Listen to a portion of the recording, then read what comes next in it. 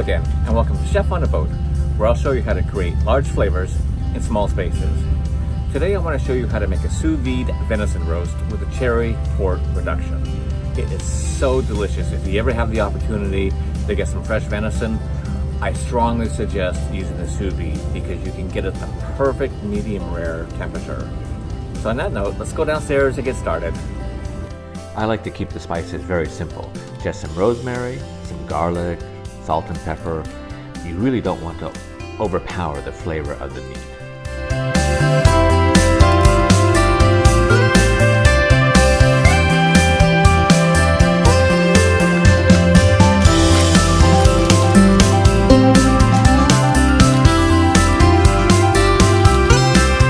When vacuum sealing, I like to put the meat in the freezer for about 15 minutes. This firms the outside of the meat and helps prevent juices from getting into the sealing area of the bag.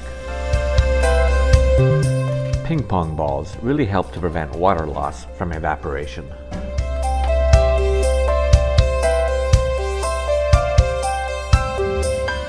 Spice bags are a great way to infuse cooking liquids and sauces, allowing for easy removal later.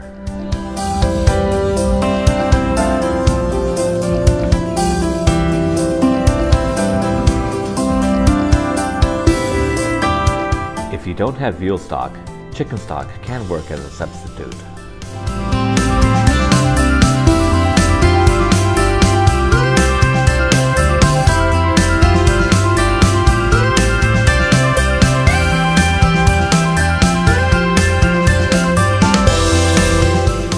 When making a beurre blanc, beurre rouge, or other butter-based sauce, you want to whisk the cold butter in one pat at a time with the heat off.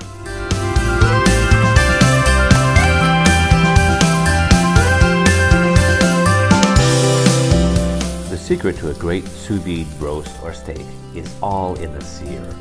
Sear it on high heat for about one minute each side to get that great crispy.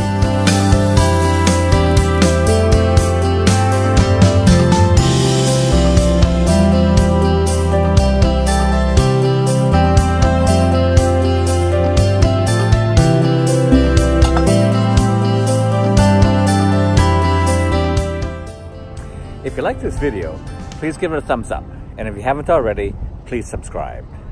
Until next time, as I say in Swiss German, Gute.